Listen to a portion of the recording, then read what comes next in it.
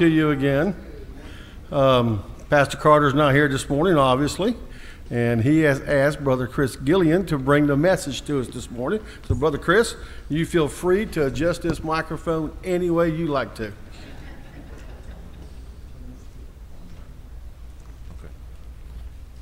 All right, good morning.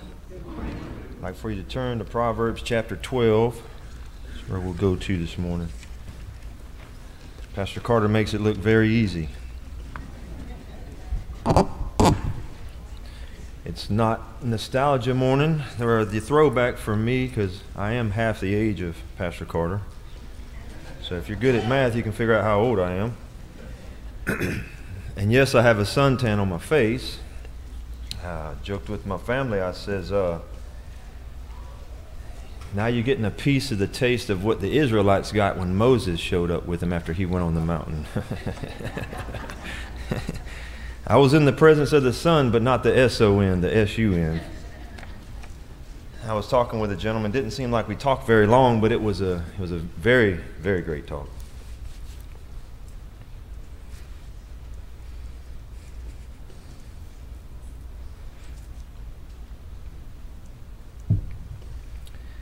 To ask you to bear with me a little bit. But we're going to get through it. Amen. All right. So, I don't want to take this passage out of context. The passage that we're going to be looking at is talking about labor, it's a law of labor. But through it, there's a spiritual aspect that we can pull out of it and apply it to our daily life. We need to prepare ourselves when we come to Sunday school. We need to prepare ourselves before we come to church. All right? We expect the pastor, the teachers, we expect them to be studied up and ready to bring a word. And there can be times when some people may have a standard of their own of whether the pastor or the teacher has studied or prepared to meet their standard. But that's not the standard. I'm not the standard. We're not the standard. The standard is Jesus Christ. Amen. So, I'll read some verses here. We'll, we'll start reading in verse 1 to kind of get us going. Probably read about 15 verses if you can withstand that much, and then I'll get back to the verse of where we're going to go. It says in uh, chapter 12 of Proverbs Whoso loveth instruction loveth knowledge, but he that hateth reproof is brutish. A good man obtaineth favor of the Lord, but a man of wicked devices will he condemn. A man shall not be established by wickedness, but the root of the righteous shall not be moved. A virtuous woman is a crown to her husband, but she that maketh ashamed is as rottenness in his bones. The thoughts of the righteous are right, but the counsels of the wicked are deceit. The words of the wicked are to lie in wait for blood, but the mouth of the upright shall deliver them. The wicked are overthrown and are not, but the house of the righteous shall stand. A man shall be commended according to his wisdom, but he that is of a perverse heart shall be despised. He that is despised and hath a servant is better than he that honoureth himself and lacketh bread. A righteous man regardeth the life of his beast, but the tender mercies of the wicked are cruel. He that tilleth his land shall be satisfied with bread, but he that followeth vain persons is void of understanding. The wicked desireth the net of evil men, but the root of the righteous yieldeth fruit. The wicked is snared by the transgression of his lips, but the just shall come out of trouble. A man shall be satisfied with good by the fruit of his mouth, and the recompense of a man's hand shall be rendered unto him. The way of a fool is right in his own eyes, but he that hearkeneth unto, unto counsel is wise. If you'll go back to verse 11, it talks about he that tilleth his land. And I'm sure many of us in here, we've done some farming work. Even though I'm 44, I've still done some farming work, quite a bit of it. We have roughly about not quite 10 acres in the family property there. We, uh, there's been some houses put on there now, but my grandfather one time came up with this wonderful idea to plant the entire field in peas. So you can only imagine what it was like. But think about this the tilling process. What goes on in that tilling process? Well, we have to we have to cultivate the dirt. We've got to stir it up. We've got to break up the hard ground, right? We've got to we got to dig the roots out of there. We got to pull the grass out of there. It's it's not easy to get a garden started. We just can't go out here and throw some seed down and expect it to grow. All right? So there uh, you've got to keep the weeds out of there, all right? I'm sure we know this. Because of the curse that was put on this earth, them weeds will grow about three to four times faster than our food will. you put the fertilizer on the weeds, you're making a mistake because your plants are going to be down here and your weeds are going to be up there. I've seen it happen. If I'm going to plant some new grass, say I want to put some St. Augustine in my yard on top of some bahia, it ain't going to work out. All right? You got to go in there and you got to dig that old grass up. We got to get it out of there. We got to get it out of there. So, to understand that part, you know, we're, we're uh, tilling is a uh, operation, a practice, or an art of preparing land for seed and keeping the ground free from weeds which might grow in there, which might impede growth. We need to gain knowledge, okay? Not just, I'm, I'm not talking about gaining knowledge of how to grow things, but let's take this of planting. There's going to be a little bit of sowing and reaping in this too, also, okay? But what we're looking at is He that tilleth his land shall be satisfied with bread. But he that followeth vain persons is void of understanding. The first thing we need to get is some knowledge. Well, we got to get saved, of course. A lost person can't cultivate the soil for, you know, for their life to grow. But their heart can be prepared by the Lord for the seed that we're going to plant on them. When we share the gospel with them, we give them the good news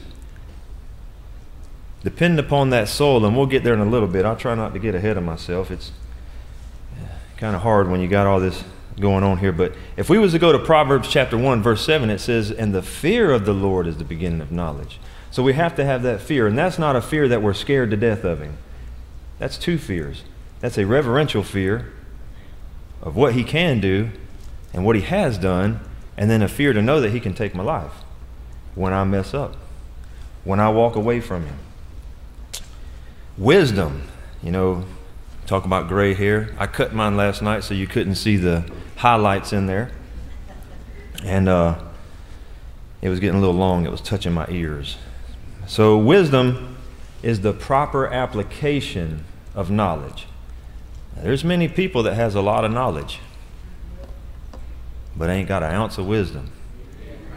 Wisdom, what is that? That's listening. That's knowing when to say something and when to just be quiet. It takes a little while to learn that, okay? Maybe that's why they say, you know, gray hair is a sign of wisdom. It could be a sign that you've learned a lot and you've struggled a lot, dealing with a lot of things in life, maybe. Thinking about knowledge there, Hosea, in Hosea chapter 4 and verse 6, God says, My people are destroyed for lack of knowledge.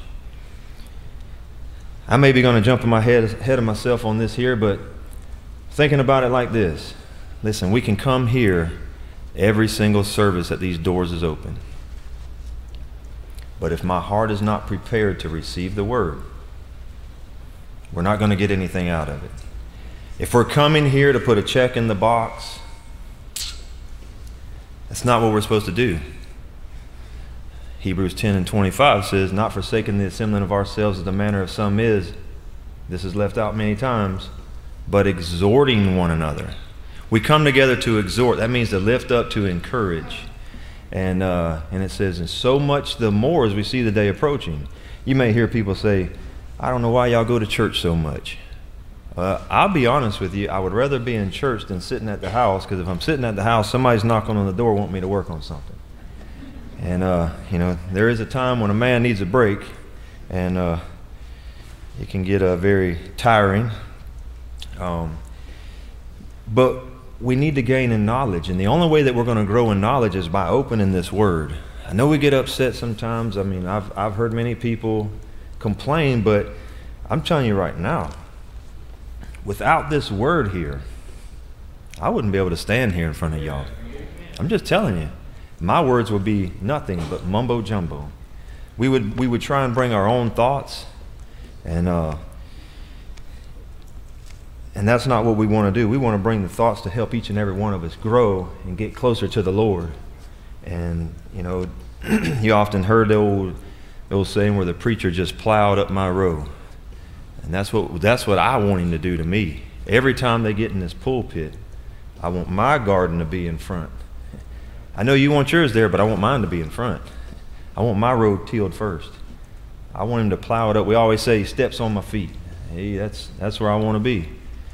The Bible says in Psalms 119, 165, Great peace have they that love thy law. Here's the important part and nothing shall offend them. Nothing. Think about that. As I get in this word and I allow this word to get in my heart and fester in my heart, I'll have great peace of whatever's going on. Hmm. We look around at everything that's going on in this world and we get so angry and we get so wound up. Think about it. If you'll study this word, these things must come to pass. We don't want it to happen on our watch. We, many of you have been here longer than I have. We don't want it to happen on our watch. I was a little kid. I've been a knucklehead all my life and just go along like a little snotty nosed little kid kicking rocks and not paying attention. And now it's, you know, wake up, buddy, you're a man. and it, it grieves me. And if we'll get in this word, the sin of this world will grieve you. You will not be happy with things that are going on. It'll grieve your heart. You will, you will beg God to give you understanding why. Dig in the scriptures and He'll let us know. Still talking about this tilling the land. If we would turn over to your right a little bit, Proverbs chapter 20.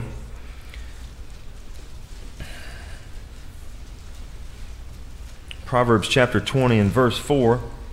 Let's look at what it says here. It says, The sluggard will not plow by reason of the cold. Therefore shall he beg and harvest and have nothing. The lazy person ain't going to get out there and work. I have to work outside, in case you don't notice. Of course, I was mowing grass, I wasn't doing what I normally do. but I'm outside all the time. And this past few weeks has been extremely hot for us. Uh, the, the men were up in the attic, and man, i I'm underneath my carport, and it's twice as hot up there. And I, and I just felt so sorry for them. But I had me two fans blowing on me, and it just it wasn't giving up. I, I thought I was back in Fort Irwin, California, doing my desert training when I was in the Army. That's about what it felt like for me on that Wednesday as I laid there and, and, and tried to continue on with the work that I was doing. But see, I had to make preparations for myself. See, if I wasn't lazy, if I was lazy, I wouldn't, I wouldn't have got things put in place to help me cool down. These men wouldn't have had things put in place so they could cool down as they're up there the best they could. We have to take time of our own to prepare. The sluggard's not going to do that. It says that he will not plow by because it's cold outside. Think about that. We complain when it's cold. We complain when it's hot. I don't like the cold. I'll tell you that right now. I can deal with that heat. I can go find me a water hose and a shade tree. But you can't always find a fire where you're working at. The things that I do, if I have a fire there, everything's going to be on fire. And it's not going to be good because it'll be consumed. And then we won't have the thing to turn back to the people that they brought to me. so we have to be careful with that. Turn on over there to Proverbs chapter 24. We're going to work our way to the back.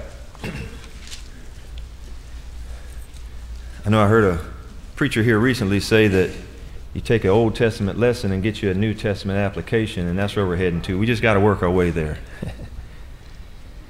that was just recently, in case y'all don't remember. I'm not saying I have a memory of steel, but there's just quite a few things that stick with me, that stick out. Uh, chapter 24, let's turn over there to verse 30. Read a few verses there and let's see what it says. It says, I went by the field of the slothful that's a lazy person. And by the vineyard of the man void of understanding. Remember, it says if we follow a man that's void of understanding, that is, that is not, I mean, it says, But he that followeth vain persons is void of understanding. So this person is just what they're talking about. And it says, And lo, it was all grown over with thorns and nettles had grown, uh, uh, covered the face thereof, and the stone wall thereof was broken down. Then I saw and considered it well. I looked upon it and received instruction. This young man received instructions from looking at a wall covered with vines because a lazy person didn't want to clean up. Look at what he learned. Yet a little sleep, a little slumber, a little folding of the hands to sleep. So shall thy poverty come as one that travaileth and that wanteth as an armed man. Listen, when we're lazy and we're not going to take care of things, our heart, our spirit, when we don't feed that with the good things, the psalmist says in uh, Psalms 101 and 3, I believe it is, I will set no wicked thing before mine eyes. I know this is a touchy subject, but our social media. Let me give you a scenario here. I've given this scenario a few times, and uh, we could all agree that there is some good stuff on social media. We could all agree on that. I'll agree with you. I'm biased. I don't like it at all, be honest with you. Okay? But let me ask you something. Let's take a dumpster, fill it full of garbage, and there's flies, maggots all around it. Now we're going to go in the kitchen. You're going to go with me. We're going to fix a sandwich. We'll take a Ziploc bag. We're going to put it in that Ziploc bag. And we're going to go to the dumpster. We're going to pick up a couple of them bags and throw it in there, close it back. We'll talk for a few minutes. Honestly, I would ask you if you'd grab it back. I would guarantee there'd be nobody in this room. There would be nobody you talk to that would go get that sandwich. Now, there's nothing wrong with that sandwich, it's good. But look at all the garbage we have to sift through to get to the good stuff. Here, I'm going to tell you what. This is about the best thing we can put our face in. This is the best thing. I, I just, I don't have one because I know it'll control me. And if that's going to be the problem, I just stay away from it. All right? But that's the, that's for me, that's social media, where I look at it as, and I, I hope nobody got offended by that. But if you love the law of God, just read you a verse, you, it won't bother you. Proverbs 24 talks about the slothful person there. In Hosea 10, he tells us to sow in mercy, break up that fallow ground. Man, that's, if you was to study Hosea, that is a very interesting book. For those of y'all that was here at the Bible conference, Brother Gene Googe preached a message that Wednesday morning from Hosea chapter 4, verse 17. Ephraim is given to idols, let him alone. I couldn't stop thinking about that. So I had to go back and chase Ephraim from the very beginning to that point, and just all the things that I seen was just so wonderful, so awesome, so amazing. Because you see how a loving, merciful God has been gracious, but he comes to a point where he says, I've had enough. Let him alone. We got to be careful. The things that we set before our face, things that we may let be an idol. There are so many things in this world that, that can do that. Let's go to our New Testament application here. Luke chapter 8.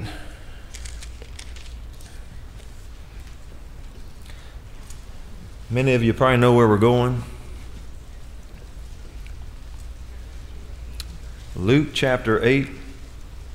You could read this same parable in Matthew 13, Mark 4. I would challenge you to go and look at it because there's some different aspects there of, of some information that's given. And uh, as I was going back over it this morning, I'm trying to decide okay, do we go to Matthew? Do we go to Mark? Do we go to Luke? Any, many? Man, but they're all good. Doesn't matter where you go, you can go to any of them. But if we'll go to Luke chapter 8. We'll read here this uh, parable of the sower and the seed. Remember, still thinking upon this thought process of tilling the land. All right? Tilling, use our heart and our minds as the land that needs to be tilled up.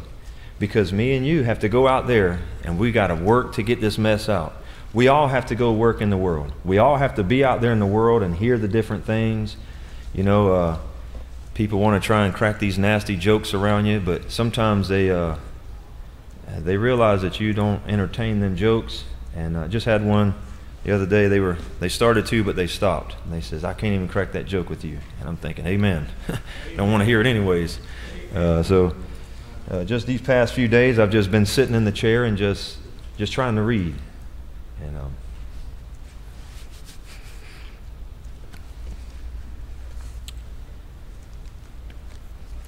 this is the only place we can get strength from. If you look at David's life all through the book of Psalms, he's constantly in a battle. Constantly. Luke chapter 8, verse uh, number 5 there, it says, A sower went out to sow, the seed, to sow his seed, and as he sowed, some fell by the wayside, and it was trodden down, and the fowls of the air devoured it. And some fell upon a rock, and as soon as it was sprung up, it withered away because it lacked moisture. And some fell among the thorns, and the thorns sprang up with it and choked it out. And other fell on good ground, and sprang up and bare fruit an hundredfold. And when he had uh, said these things, he cried, He that hath ears, let him hear. As I look around in here, we all got ears. I probably got the biggest ones in here. I need a lot of hearing. All right? Verse 9 And his disciples asked him, saying, What might this parable be? And he said unto you, It is given to you to know the mysteries of the kingdom of God, but to others in parables. Look at this, that seeing they might not see, and hearing they might not they might not understand.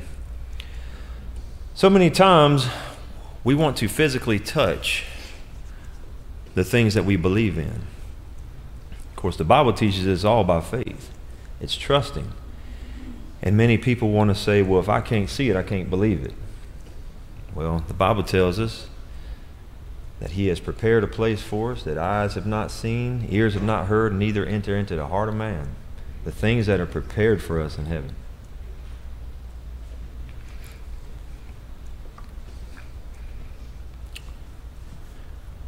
We don't have a clue.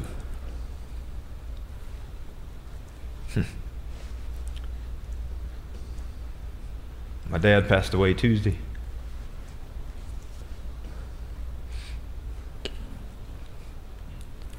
Jealous.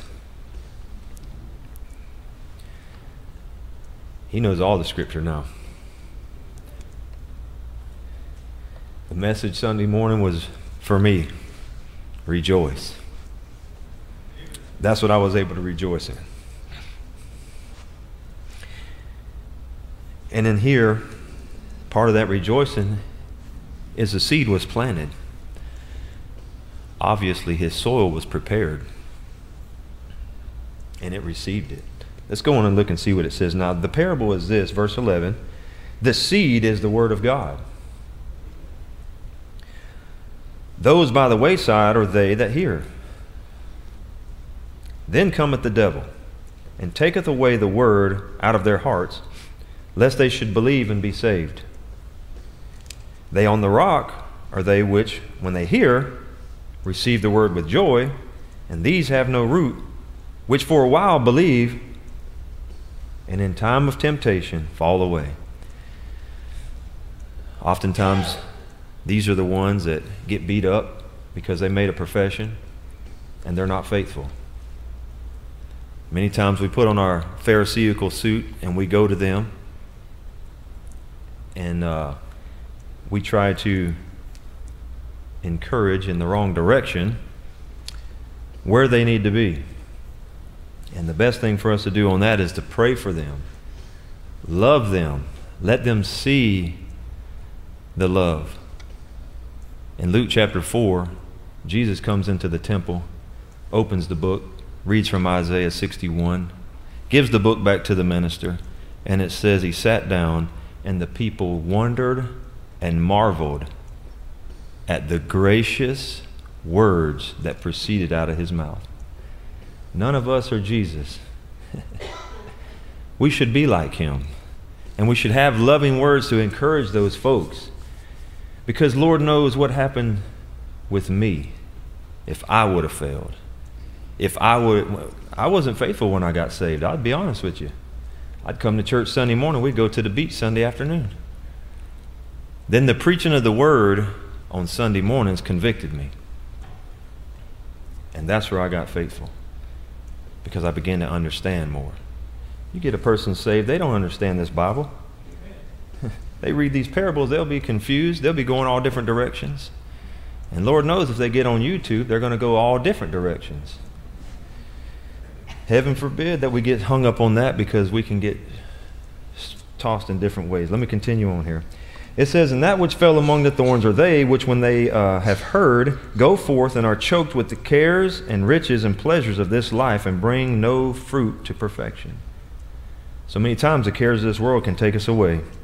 It says, But that on the good ground are they which in an honest and good heart, having heard the word, kept it, or keep it, and bring forth fruit with patience. Those that receive the word and truly understand it. See, we, we need to be ministers of the word to those that are around us.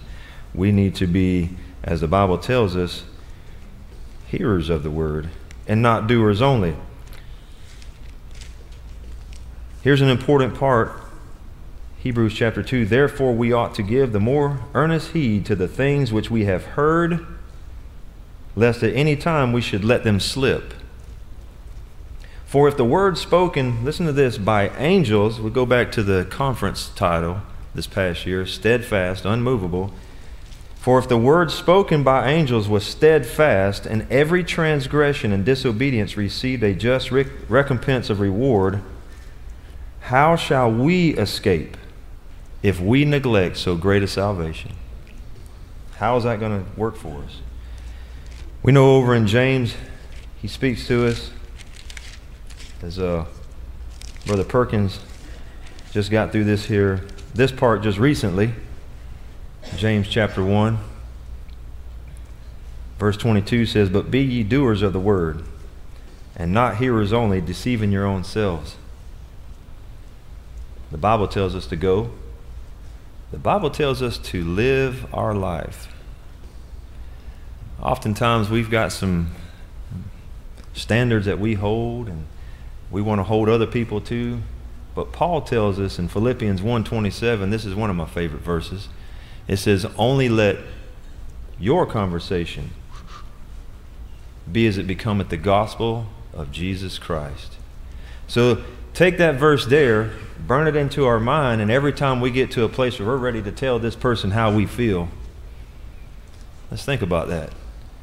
Is my conversation, is the places that I go, is the things that I do, is the things that I say. Is there enough in that for to lead someone to Christ? He tells us that if we don't do these things, we're deceiving our own selves. For if any be a hearer of the word and not a doer, he is likened unto a man beholding his natural face in a glass. It says, For he beholdeth himself and goeth his way, and straightway forgetteth what manner of man he was. We look in the mirror and we see ourselves. I looked in the mirror this morning and I was thinking, Lord, this is going to hurt. I had to put a razor on this face. I've been treating this thing with lotion since Friday when I got home. And I'm thinking, Lord, have mercy. How am I going to cover this up? I was telling my family we're going to have to spray the rest of it up here to make me look right kind of unbalanced. But I look in the mirror and I see the things that needs to be fixed, just as Pastor Parsons has been teaching through the law in Romans. I'm looking in the mirror. I'm looking at me. I'm the one needs to be fixed. Let's read that next verse. It says, But whoso looketh into the perfect law of liberty and continueth therein, he being not a forgetful hearer, but a doer of the work I often thought that word said word. Work. This man shall be blessed in his deeds. There's so many things that we, we've got to pay attention to in our life. The only way we can live this life, the only way we can get through, is listen, if we can't read the Word of God, this was just shared with me. I, I just open up a little bit here. I've had conversations with many men and it just so happens after that conversation, I'm faced with that scenario, but I've been given counsel. When you get to a point where you're struggling and you can't read the word, you need to put on some good, godly music. Let it minister to your heart. This gentleman shared with me Saul and David. I said, Wow, I knew that, but didn't know it like that. Every time Saul's spirit would get stirred, David would play the harp and calm him down. Listen, there's times when we all get there, when we all get frustrated. Sometimes we've, we've, we've not tilled the land that when we've come into this place to let the Lord, through the preacher of the Word of God, minister to our hearts. And then when we walk out the door, we often forget it. We come down, we'll pray about things, but then we pick it back up and we take it with us. We need to leave it there and let the Lord have His way with it. A couple quick verses here and I'll be done. Uh, Galatians 6 says this Let him that is taught in the. Nope, wrong, wrong verse. It says, Be not deceived. God is not mocked. For whatsoever a man soweth, that shall he also reap. For he that soweth to his flesh, Romans chapter 8. For he that soweth to his flesh, of the flesh reap corruption. But he that soweth to the Spirit shall of the Spirit reap life everlasting.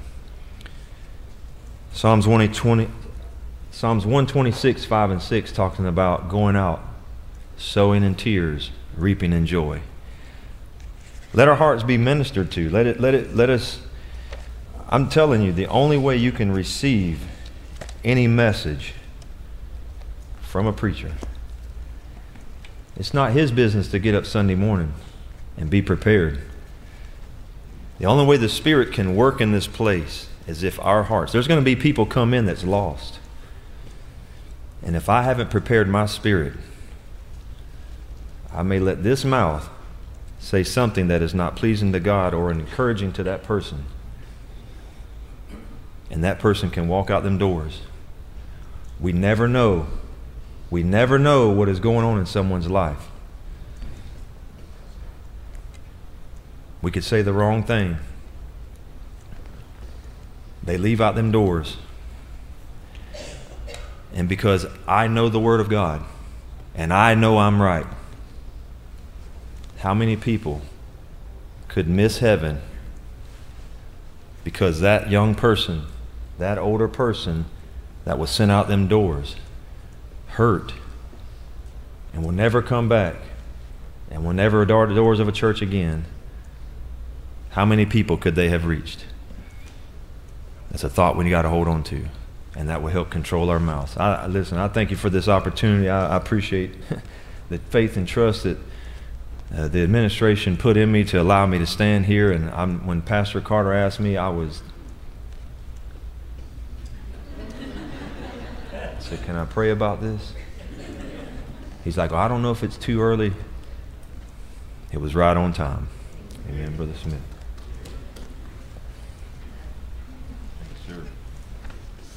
All righty, total 814 for the day. Amen. That's for you.